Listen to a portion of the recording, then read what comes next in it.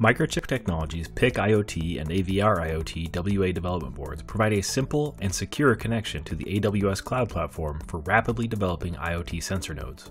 The boards feature an ATmega 4808 or a PIC24 MCU, with both MCUs providing the powerful and efficient performance needed for battery operated IoT devices. For a quick start, the board includes a Wi Fi module, sensors, and preloaded firmware to connect to the AWS IoT Core Cloud service and allow users to view real time data online. Data is kept secure using the ATECC 608A crypto authentication secure element, which provides hardware based key storage, cryptographic processing, and secure boot support.